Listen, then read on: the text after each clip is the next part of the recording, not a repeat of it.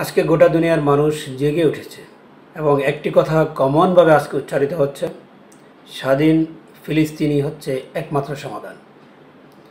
একটি বিষয় পরিষ্কার, ইহুদি এবং নাসারা যৌথ শক্তি, তারা কোনোভাবেই মুসলমানদের উত্থানকে তারা সহ্য করতে পারছে না।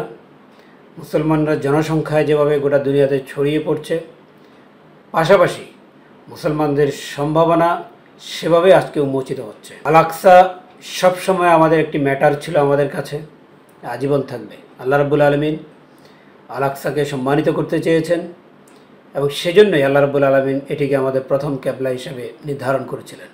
আল্লাহর পরিকল্পনা নিঃসন্দেহে ছিল কাবা আমাদের ক্যাবলা হবে। কিন্তু আল্লাহ প্রথমে আলাক্সাকে ক্যাবলা হিসেবে নির্ধারণ করে তাকে সম্মানিত করেছেন।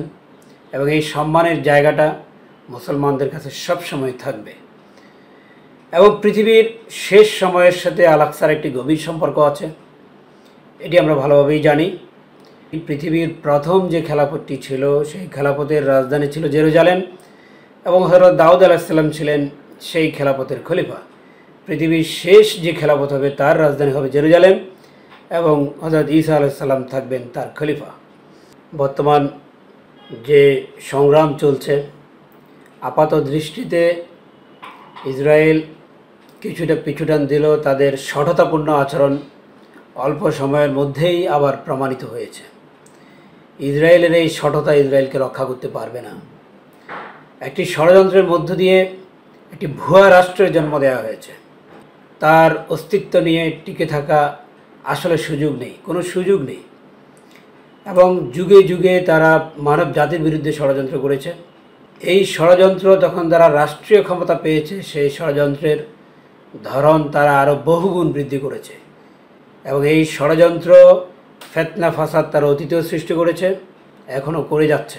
আল্লাহ রব্বুল আলমিন এই সম্পর্কে সুরা আল বানি ইসরায়েলে পরিষ্কার বলেছেন, তাদের এই ফাসাদ সম্পর্কে আল্লাহ বলছেন وقضينا إلى بني إسرائيل في الكتاب لا تفسدن في الأرض مرتين আল্লাহ বলছেন পরিষ্কারভাবে যে আমি বলি ইসরায়েলদের প্রতি কিতাবের মধ্যে লাউহ মাহফুজের মধ্যে আমি পরিষ্কার লিখে দিয়েছি যে তারা ঘোষণা দিয়েছে অবশ্যই তারা পৃথিবীতে দুইবার এই জমিনে বিপর্যয় সৃষ্টি করবে দুইবার এই জমিনে ফাসাদ সৃষ্টি করবে তারা দুইবার না হাজার হাজার বার ফাসাদ সৃষ্টি করেছে এবং সেই ফাসাদগুলো আল্লাহ যে অর্থে বলেছেন সেই ফাসাদ নয়।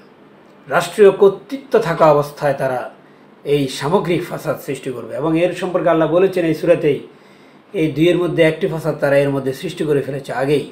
এই কোরআন নাজিরের আগে এই ফাসাদ সৃষ্টি করেছে এবং এর বিপরীতে আল্লাহর পক্ষ থেকে যে শাস্তি সেটাও পৃথিবীতে তারা ভোগ করেছে। এই নিশ্চিন্ন অবস্থা থেকে আল্লাহ আবার বলেছেন, আমি আবার তাদেরকে সহ্য বীর্য দিয়েছি। তাদেরকে শক্তি দিয়েছি এবং সেটা পেতে পেতে শেষ পর্যন্ত তারা রাষ্ট্র ক্ষমতা পর্যন্ত অর্জন করেছে। এবং দ্বিতীয় ফাসাদের কথা আল্লাহ বলেছেন, সেই ফাসাদ সৃষ্টি করার পর আর তৃতীয়বার কোনো ফাসাদ সৃষ্টি করার সুযোগ তারা পাবে না। এই ফাসাদ সৃষ্টি করার পর তাদেরকে সেভাবে আবার নির্মূল করে দেওয়া হবে। এবং সেই ধ্বংসের শুরুটা তারা এখন করেছে। ইসরায়েল ধ্বংসের শুরু হয়ে গিয়েছে। এটি ধ্বংসের যে পর্ব, সেই পর্বের শুরু এখন চলছে। সুতরাং আতঙ্কিত হওয়ার, ভয় পাওয়ার কোনো কারণ নেই। গোটা দুনিয়াতে উম্মা আজকে জেগে উঠেছে। আল্লাহ বলেছেন ওয়াকাজালিকে জা আল্লাহ উম্মাতান ওয়াসাতান। আমি তোমাদেরকে ভারসাম্যপূর্ণ জাতি হিসেবে তোমাদেরকে আমি উত্থান ঘটিয়েছি। কারণ হচ্ছে সুহাদা আলান্নাস মানব জাতির সাক্ষ্য যাতে আমরা হতে পারি।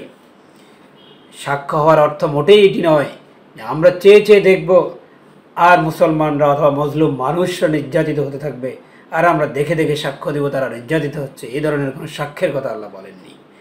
বরঞ্চ এই নির্যাতিত মানুষদের অবস্থা পরিবর্তনের জন্য মানুষ চেষ্টা করতে হবে এবং সেটা এই উম্মতের দায়িত্ব। সামগ্রিকভাবে, রাষ্ট্রীয়ভাবে যারা কর্তৃত্বের অধিকারী, সেই রাজা বাদশারা সরকারগুলো তাদের দায়িত্ব সেভাবে তারা পালন করছেন না। কিছু কিছু সরকার, কিছু কিছু রাষ্ট্রপ্রধান ব্যক্তিগত পর্যায়ে আগ্রহী এবং তাদের বক্তব্যগুলো তারা ইতিমধ্যে পেশ করেছেন। কিন্তু অধিকাংশের অবস্থা হচ্ছে এটা তারা এই সাক্ষ্য দিতে ব্যর্থ হয়েছেন।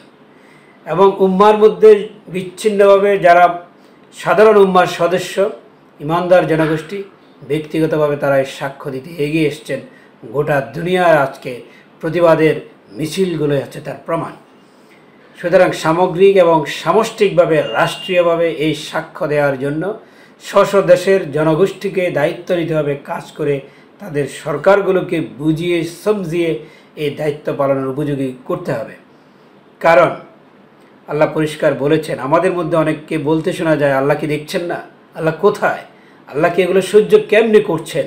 এই কথা বলতে শোনা যায়, এর কথার জবাবে আল্লাহ বলছেন সুরা আল ইব্রাহিমে বিয়াল্লিশ নম্বরে আল্লাহ বলছেন ওলা তাহসাবান্নাল্লাহ আম্মা ইয়ামালুজ জালিমুন আল্লাহ রাব্বুল আলমিন জালেমদের এই অপকর্মগুলো সম্পর্কে কোনোভাবেই গাফেল নন। তিনি পরিষ্কার দেখছেন, শুনছেন। তিনি গাফেল নন এবং এর জবাব আল্লাহর পক্ষ থেকে আসছে, অব্যাহতভাবে অচিরেই আসবে এবং সেটা ধরনও আল্লাহর কাছে পরিষ্কার পরিকল্পনায় আছে। সুতরাং আমরা যারা এটা নিয়ে কথা বলছি, তাদের নিজের জায়গা থেকে তারা যদি দায়িত্ব পালন করতে পারি, সরকারগুলো যদি দায়িত্ব পালন করে তাহলে পৃথিবীতে ইসরায়েল নামের কোনো রাষ্ট্রের অস্তিত্ব থাকবে না। এটি হচ্ছে তাদের ধ্বংসের শুরু এবং এটি অচিরে শেষ হয়ে যাবে। যে শক্তি তারা অর্জন করেছে, এই শক্তি খুব বেশি দিন তারা কাজে লাগাতে পারবে না। যদি আমরা আমাদের দায়িত্ব পালন করি, উম্মা হিসাবে আমরা যদি জেগে উঠি, আল্লাহ রাব্বুল আলমিন আমাদের সমস্ত হতাশা কাটিয়ে উঠে আমাদের ব্যক্তিগত এবং সমষ্টিগত যে যে জায়গায় আছি, সেই জায়গায় থেকে তার দায়িত্ব পালন করার চেষ্টা করি। আল্লাহ রবুল আলমিন আমাদেরকে কবুল করুক। ওয়াখির দাওয়ানা আনিল আলহামদুলিল্লাহি রবিল আলম